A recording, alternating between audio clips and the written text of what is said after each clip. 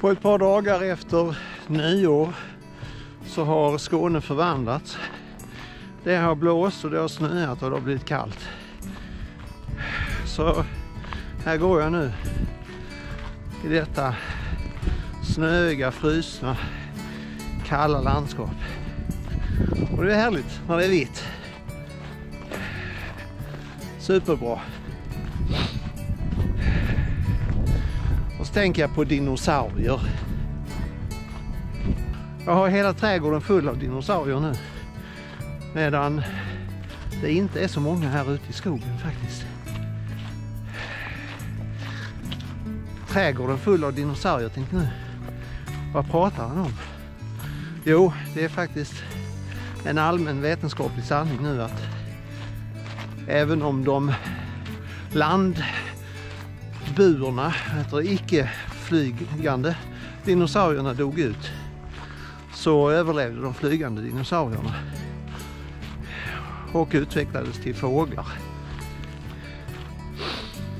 Och fåglarna är beroende på lite hur man vill uttrycka det dinosaurier som lever idag eller dinosauriernas släktingar i nedstigande led.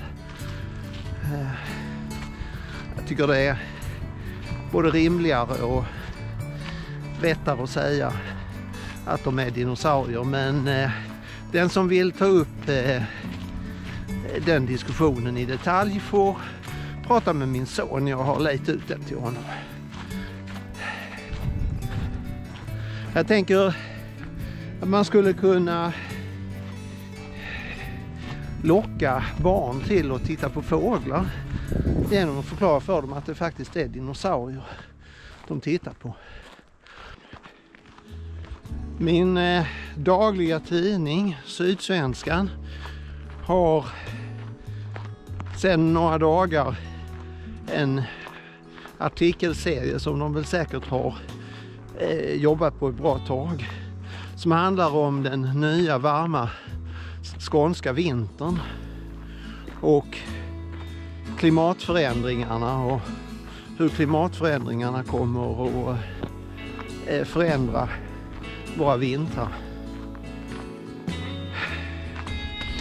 Och man kan ju inte annat än tycka lite synd om dem för tajmingen när det efter andra eller tredje artikeln, vilket det nu är, kommer en sån här snö och köldperiod. Det ska bli neråt minus 14 här eller något sånt. Och det är inte rekordkallt på något sätt men det är ju rejält kallt i alla fall. För skånska förhållanden. I norra Norrland har de ju 43 eller mera minusgrader nu. Så det är ju hiskeligt. Det förändrar naturligtvis inte faktum. Klimatförändringarna är något annat än tillfälliga väderskiften. Och genomsnittet för världens temperatur går upp och mest av allt går det upp hos oss i Sverige och i Arktisområdet överhuvudtaget. Det är ju bara så himla svårt att uppfatta de där långsiktiga skillnaderna när temperaturen i medeltal över ett år går upp med en grad jämfört med hur det var för fem eller tio år sedan eller något liknande. Det är liksom inget som vi kan förstå med våra vanliga sinnen. Och eh, det är därför man behöver vetenskap. Det är därför man behöver mätningar. Allt det där tråkiga, långsamma. Mäta varje dag utan att alltid veta vad det leder till. Och vad man får för resultat. Och ibland mäta varje dag hoppas att man vet vad det leder till. Så eh, vi ska inte låta oss luras. Det är mest det jag tänkte säga. Klimatförändringarna är här, även om det är ett fint vinterlandskap med snö just nu. Och dinosaurierna får jag fortsätta mata i trädgården så att de inte fryser ihjäl under vintern.